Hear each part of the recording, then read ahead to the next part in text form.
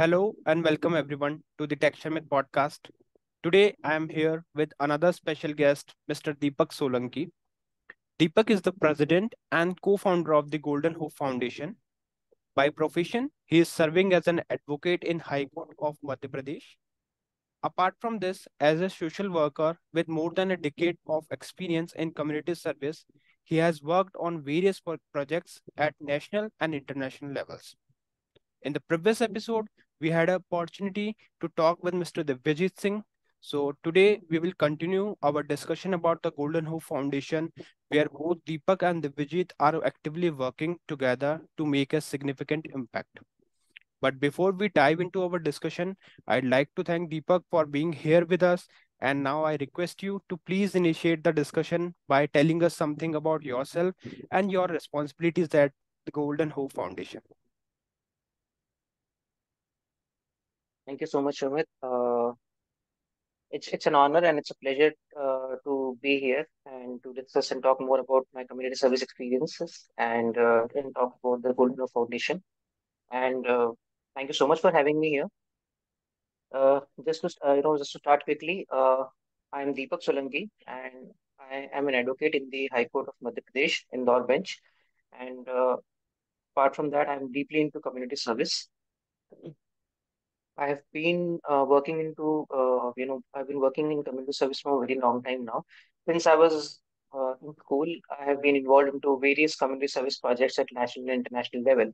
And uh, and I, I always had this zeal for doing something good for the society and giving back to the society. And that's what has been inculcated during my school time uh, with, with uh, you know, and that, that's how that's how I got more inclined towards community service apart from that, how I got to start about, I'll, I'll just quickly tell about how we started the Golden Hope Foundation. It was, uh, again, I was, I randomly visited the Indore Zoo. That was in 2015, uh, where I, I, where I had, uh, you know, I had an interaction with the zoo authorities, and I also uh, got to know about the. I just witnessed about the conditions that we had in uh, in, in the zoo, so condition of the animals in the zoo.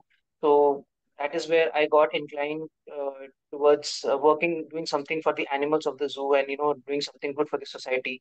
Uh, since I was in college, I was not having any active project that at that particular moment, so I thought of starting up with some some project. I went to uh, my senior advocate, and uh, I, I talked, I spoke to him. I, I said, sir, uh, this is what I saw, and was very upset about the conditions of the animals in the zoo. And I believe this is the same state of situation, uh, state, uh, same state of situation, you know, for all, all the animals which are kept in zoo, uh, you know, in, in, in India. There's something that we need to do. So, sir said, why don't you start start with with with your own with group, and then you know take your friends and uh, you know smaller group, and then you can go on on a bigger level. So that is how I got motivated to come up uh, to start with a smaller group, and later on, uh, you know, we, we kept on adding on different projects, and that's how we are an NGO now. Okay, okay. So yeah, uh, in the last uh, episode also we got a chance to speak with uh, Mr. Divyajit Singh. We discussed like how you guys are working for the uh, welfare of the society. So could you please uh, tell us a bit about your responsibility uh, with this NGO, like how what all responsibility you are taking care uh, here, and how you are working with the team? Uh, see, being the president and being also being one of the co-founders, uh, I take it as an overall responsibility for myself that I, uh, that, I that, I, am responsible for for the majorly for the operational and the, all the activities that are being carried carried out, uh, you know, under the under the banner of the Golden Hope Foundation.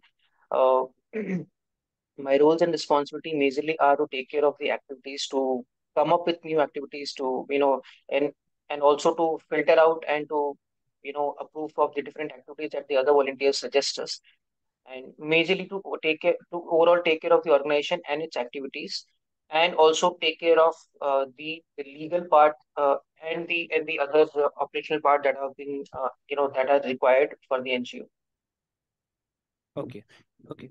So uh, as we know that you have completed various projects through this NGO, so my question is like, how does how does this uh, foundation engage with the broader community and raise awareness about its cause? In today's world, it is quite difficult to do everything by your own. And what I believe that collaborations are the best way to engage with the broader community. For example, if I have four people in contact and other person has 10 people in contact, I would definitely contact the other person and, you know, reach out those 10 more people instead of, you know, individually going out. So collaborations and if it's, and the world is working in collaboration, right? No, nobody can survive without collaboration. So that is how, uh, how we engage. We work in collaboration with different NGOs, with different organizations, with different groups of people. We collaborate with them, we talk to them, and we discuss about their needs. We talk about that what we are what we, how we can help them out and that we reach out to them and that is how we are trying to engage ourselves with more collaborations and engage with, with the broader community and uh, as I know, like one of your uh, ongoing project focuses mainly on the welfare and uh, conservation of wildlife and the street animals. So, uh, could you please tell a bit about this approach? Like, how does this foundation approach this issue? And as you mentioned that earlier also, that you visited one zoo and then the you inclined toward this motive. So, what all other uh, initiative you have taken so far for this particular project? For this particular project, again, uh, I, I, uh, like like I said, we are working in collaboration. So, you know, we collaborated with Indore Zoo and uh, Animal Rehabilitation and Protection Front (ARPF), which is uh, another NGO that works with it, with, which works very closely with the Indore Zoo. So, we collaborated with those organizations. We spoke to them, and the project that we have for for the wildlife and animals uh, is that we wanted, you know, see, we have a lot of animals who are there in the wildlife, and that we have wildlife, uh, we have laws for the those animals, and they are being kept in a different way. They are living in a natural habitat. But however, in the zoos, the animals are not in their natural habitat, right? But we can make efforts as a society to keep those animals or to create situations or create habitats that you know which could be like somewhere nearby to what, what the natural habitat is. Uh, I remember when I was a kid, as a young guy, I used to go to the zoo with my with my father. Uh, we I saw the animals were the tigers and the lions. They are all uh, you know they were kept in cages, right? They were which was a very small cage, and they were kept in those cages, and they had no place to move around. And they used to just circle around, and it became a very psychological. It affected them very badly, you know, in, in a psychological manner. That uh, you know, so it became a uh, it, that that small cage became their habitat. However, we then I spoke to the zoo authority, and uh, I thought I, I, I, saw that you know, sir, if you could do something for those animals, and uh, you know, the, the person and the, the gentleman at the zoo, he said that yeah, we're working on such kind of things as well, and we have later on the laws also. The Indian uh, the Indian government also introduced laws that you know uh, with the uh, with with with, it, with time the laws also changed, and they introduced laws where uh, you know the conditions uh, were more more more kind of uh, more uh, I would say uh, different uh, things were uh, you know different guidelines were given to how to keep the, animals in the zoo, right? So we uh, we worked with the zoo authorities. We we requested requested them, and they you know they assured that yes, we will we will work on the you know the cages and the we'll also work upon the what they call pada in Hindi. So the Mhm. pa- it basically it's the it's the uh, it's the area where the animals being kept, and it's, it's uh, so they provided a bigger area with, uh, with with sort of a natural habitat, if not if not uh, you know a complete natural habitat uh, per se. So that is how we got to know. Then we were, we were, and that was the time when we were working closely with the zoo. We used to observe what are the changes that have been needed, and we used to give our suggestion to the zoo authorities, and uh, also with the uh, ARPF organization. So that is how we worked upon them, and that's how the. And now, if you go to the Indore Zoo, I think the the the animals are also living in very good cages. Uh, and I, I, I rather I shouldn't call them cages; they are living in good habitat actually. Okay. So the conditions have, uh, yeah, have been improved. And uh, I would like to mention about the Bhopal Zoo, the Bhopal uh, Van Vihar in Bhopal. It is uh, fantastic. It is, uh, you know, the way the animals are being kept, and uh, because that was that was one uh, that was the point where I, I I thought of, you know, that this is something where we can actually keep those animals in the zoo. Okay. Okay. So, uh, Yeah. regarding zoo, like, are you only working specifically for these uh, two zoo, uh, Bhopal or Indore zoo, or there is any other cities across the India, like uh, where you are in touch with the authorities and you are working uh, for uh, the resolution of their needs? So, are you in touch with other uh, group also? Yes, we are working. We are working in collab. We are, you know, we are working in collaborating with other zoos also. However, majorly right now we are focusing on Indore Zoo and Bhopal Zoo, so that you know Bhopal Van so that uh, once we uh, once we think that this is an ideal uh, place, we can you know through the example of these two places, we can encourage the other people. And now, uh, with the new guidelines of the government, uh, which, of course have, it, it, it has been quite some time that after the new guidelines have been issued almost all the zoos in India India are supposed to uh, you know keep the animals in a particular situation and uh, you know like for example there there is a there are specifications for how much the area for the keeping the tiger would- should be how much area for keeping the lion should be how much area for keeping the deer and other animal should be so for each animal there is some specific area that the zoo is supposed to zoos are supposed to follow and these guidelines have been issued by the central zoo authority uh, you know which uh, you know eh, yeah these guidelines and these guidelines actually come under the Wildlife Protection Act. Okay, okay. And um, Yeah. my next question is uh, somewhere I'm going to touch base the question with your professional uh, life also. So, being an advocate, how do you assess the effectin effectiveness of current animal welfare laws in our country, and what areas do you think that we need improvement uh, for those particular laws? We have some good laws that are in our country for environment, for animal. We, like if to name some, Wildlife Protection 1972 is is the major law that you know that governs the uh, protection of animals in India. It, uh, under that only the I just, I just spoke about the Central Zoo Authority and the you know the the guidelines from the Central Zoo Authority. That is that also has been covered under the same act. And then we also have Prevention of Cruelty to Animals Act. Uh, you know that majorly covers uh, majorly covers the street animals and and the animals the domestic animals also. So uh, we have different uh, we have different laws and we have strict rules and laws in India, but it is it is more about the awareness. People are not aware of those laws. I mean, people are not even aware of their own rights and their own, uh, you know, the, the, the basic laws that we have in our country. So, you know, leave away the animal protection laws.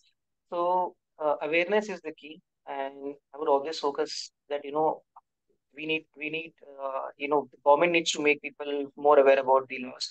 And i think uh, this doesn't come all of sudden. So uh, the way we are teaching students about our rights the way we are teaching you know the students about about the constitution and about you know about the, the society in the school time the, the children i mean the, the animal laws should also be included uh, as one of the courses in schools and colleges as well so that uh, at least people understand those laws, they get to know about those laws. And once they know about those laws, once there is an awareness, people will be able to follow those laws. Okay, okay. Yeah, uh, you're right. Like awareness is something that can only solve the issues and challenges of nowadays because uh, there are laws, as you mentioned, that there are various laws which is uh, for the benefit of the animals uh, welfare itself. laws. But if you are not aware of that thing, then you you are not uh, in a good state to approach and solve those issues. So we should Yes, uh, exactly, reach uh, raise the awareness regarding these type of laws. Okay. And uh, apart from this project, I think uh, you are also working actively for one of the project that focuses on the women empowerment. So could you please tell Yes. a bit about that approach, like what all step you have taken so far under this particular project? So, uh, under the women empowerment, when you talk about women empowerment, women empowerment is a very broad term. So, I don't, uh, I or our NGO does not, uh, you know, we, we don't actually uh, get into, you know, like na- narrowing down this women empowerment term into for just one one particular thing However, uh, as under the under the under the umbrella of women empowerment, there is one of the projects that we have taken, and that is about uh, menstrual health and hygiene. Mhm. Uh, menstrual health is something that is not really, you know, that is very less focused upon, especially in the rural areas and remote areas of our country. And uh, menstruation it's it's still still taken as a taboo, uh, you know, and uh, we have a lot of uh, you know we have a lot of uh, misconceptions about uh, you know menstruating women, and we have a lot of uh, you know even even say culturally also, India has always been uh, since we talk about the ancient times, India India has always been one of the most open-minded societies and open-minded cultures in the world, right? But somehow some somewhere some things got you know misunderstood, and that is where some misconceptions develop, and uh, which are still affecting the women in India. So you know about you know education we still don't have a lot. We are still lack, lacking you know behind in in, in you know mental you know mental health and hygiene and education about it. So our project majorly focuses on uh, this thing where uh, we are actually, uh, you know, we are distrib- distributing sanitary napkins to the uh, girls who do not have access to it because there's a there's still a large section of the society in India uh, which uh, which still does does not have uh, access to uh, you know sanitary napkins. They're still using the old methods of you know the cloth and things. So we are raising awareness about you know using that how do we carry out this project is something uh, you know we do not just go and distribute sanitary napkins to people and to girls and just say tell them that okay uh, you know from tomorrow onwards you're not going to use cloth and you know just use start using sanitary napkins no we need to educate them as to what are the benefits of using using a sanitary napkin and what are the drawbacks and consequences of using cloth right?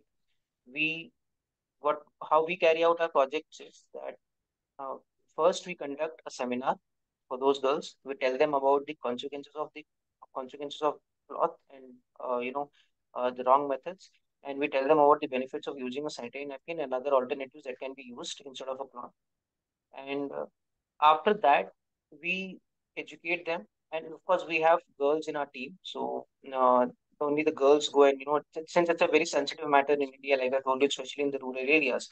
So we have girls who are specially trained for uh, this particular uh, seminar, and they go and conduct these kinds of seminar, and they interact with the girls, and whatever queries that uh, these girls have, because in India still we don't, we are like I said, we are not really open about it. So girls feel comfortable in, in talking talking to you know talking about all these topics to girls. They can they can better address the um, the, the issues.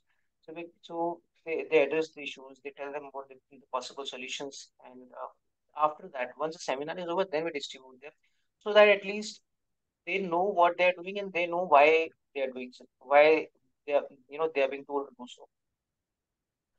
So we are uh, we are working on, you know, like we we we, uh, we are reaching out to different uh, groups and to different villages, to different uh, you know, uh, to slum areas. We are going to we are also reaching out to different government schools and uh, you know we are we educate the girls over there Apart from that, we are also, uh, you know, we are also planning in the near future to install sanitary napkin machines in the government schools, where uh, where once we can, uh, we will fill up the, uh, the machine with the sanitary napkins. Later on, girls can, you know, uh, put a two rupee or five rupee coin, coin or whatever the amount may be, and you know, a very small amount, and whenever they need the napkin, they will they will they will uh you know they can get the sanitary napkin and again they can discard it in the same machine in the other section of the machine. So we are trying to install such kind of machines in government schools and we are trying to make them self-sustainable so that whatever money those girls put in that that can be used again to you know to refill the sanitary napkins. And we would also request uh, the the school authorities to you know like if there is any any uh, shortage of funds in that, so uh, you know the school authorities can actually help us. We can they can they can uh, uh, you know like uh, reach out to us and we can help out uh, you know in, in, in refilling the those machines. So we are trying to do that, and uh, first once we are uh, you know good with the good to go with the with the plan, and we'll definitely go ahead with it. Yeah. Yeah and uh, even i think like this uh, the, such type of facility not sh- uh, it should not be only limited to a government school only because uh, private school also need uh, such facilities and there should be a proper arrangement of such things so that uh, whoever, whoever is in need they can easily reach out uh, to that particular vending machine or they can take a benefit from it so yeah uh, that's a uh, Definitely, definitely. good initiative one of, of your project so uh, again, my question is related. Uh, you can relate it with either the laws related to women empowerment or uh, animal welfare. So my question is, let's say if some, uh, what are the potential uh, challenges or obstacle uh, you found? Let's say if someone uh, found that, uh, for example, like if we talk about the street animal, right? So if someone uh, hit the animal by, by mistake or uh, they do some kind of mistreatment with the animals and uh, then uh, those who are uh, interested or those who are like uh, some, some organization like ngos who, who think that no this is not a good thing and uh, the government should change the rule uh, rules or the laws so that they can we can uh, give them the higher type of uh, punishment. So what do you think? Like what are the potential challenges or obstacles uh, are there in reforming the animal welfare law? Or is is it possible to reform any kind of laws or there is no need to reform or there are other solutions to it? Like every society needs reforms every at every stage. You know, like every generation needs some reforms. So, you know, with with the, with the passing with the with the, with the passage of years, uh, and with with with with every uh, upcoming generation, reforms are always needed in the society.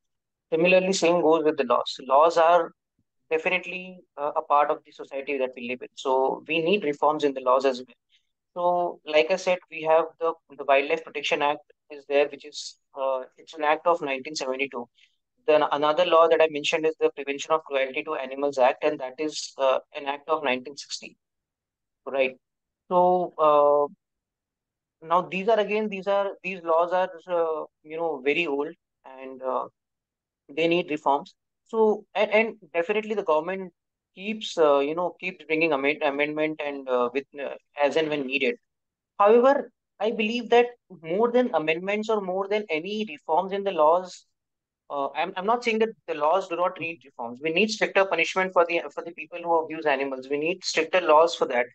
However, you know, getting into uh, more, you know, getting in, getting more into, you know, making the laws strict, it is more important that we educate people and make people aware about those laws.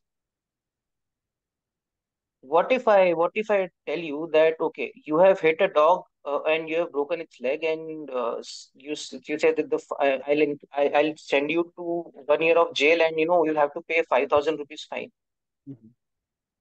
You'll say fine, you take ten thousand rupees and release me from that, and uh, you take ten thousand rupees and I'll, I'm I'm ready to take the entire uh, you know the the the, the expense. I'm ready to bear the expenses of the entire uh, treatment of this animal. Release me from that and uh, you know let me go. If he's rich enough next time he'll again do it. Right. Right. But why see why i know that how i will not hit an animal or how i will not harm an animal will only come when i am sympathetic to the animal and when i have sympathy and empathy for for, for the other living being since ancient times when you talk about if you talk about sanatan dharma if you right talk about the indian culture sanatan dharma has always respected animals not just animals we have been respecting all thoughts of being, be it a non-living being or, or be it a non-living thing or an or, or a living being.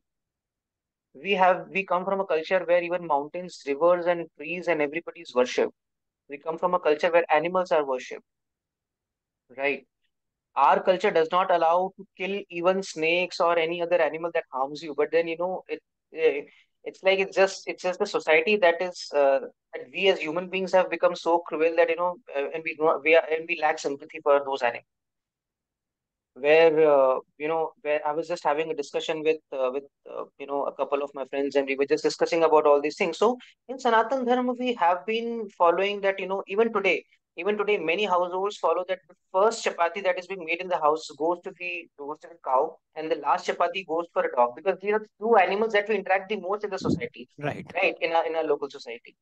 So we have been, and similarly, uh, you know, even and this tradition has been practiced even today in in, in most of the uh, states in uh, southern part of India, where uh, the rangoli that is being made, it is not made out of the powder that we get today. It is uh, modified for the convenience and uh, you know. But then earlier, the rangolis that used to be were made from the flour that was uh, you know the flour that was made from rice, so that the birds could later come and feed on them.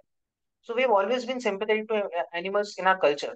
But nowadays, I feel that somehow that uh, those cultural values have lost. Those uh, the, the the feeling of being sympathetic to animals, being empathetic to animals, and to other living beings has actually uh, lost in our ways, and this needs to be inculcated since childhood. So more than modifying the laws more than amending the laws or going for stricter punishments. What will you do if you put somebody in jail? Everything. If you put a person in jail for hitting a dog, and if he lives, our jails are. We all know. Being an advocate, I also know, and if everybody in the country knows that our jails are already, you know, overcrowded. Right. Right. So if we put another, if we put uh, criminals into uh, people into jail for that, that person might take it in a different way because reverse psychology works. Psychology is a very, uh, you know, psychology is very good, but it can also be a dangerous thing. If I put somebody into a jail, okay, and if I put somebody, uh, you know, uh, a person, a normal person with a person with a criminal mindset, he will come out with criminal mindset because he's lived with that person, right? So we don't we don't want to produce criminals in India. We want to produce people. We want to make people aware about the animal laws. We want to make them aware. Uh, you know, we want to make them you know uh, better a better human being. So why not to uh, you know come up with something that will make people better? So i think more than laws uh, more than amending laws or more than being coming up strict laws are also important but at the same time it is about the awareness and it is about the uh, the, the about inculcating sympathy towards animal amongst people yeah. Yeah and here i would say like being an indian we have good very good opportunity that we can learn from our ancestors right? We we know that they used to take care of every animal whether it's a street animal or a wildlife animal they used to take care of and they believe in the coexistence of both human being and the wild animals together.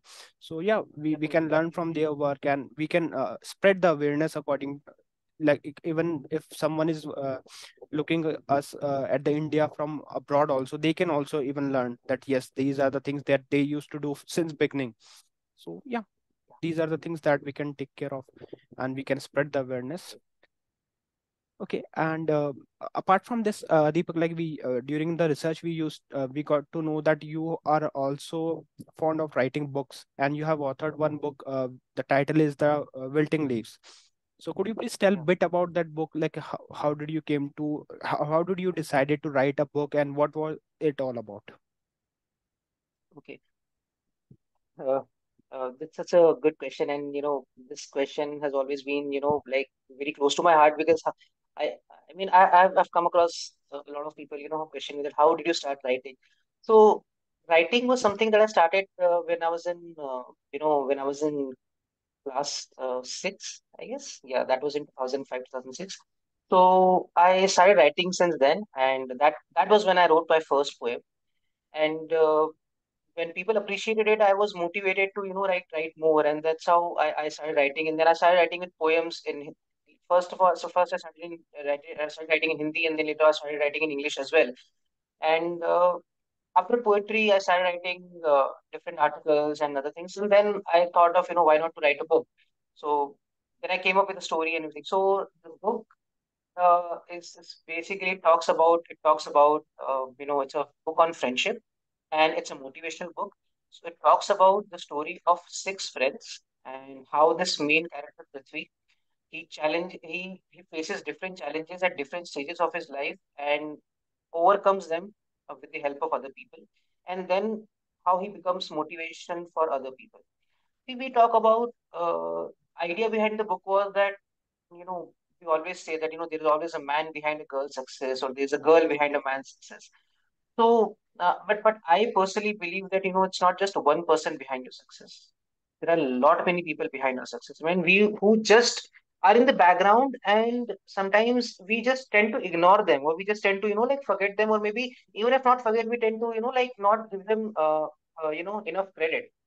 So uh, it is important that we understand that you know that it, it is it is your family it is your friends it is your teachers and everybody.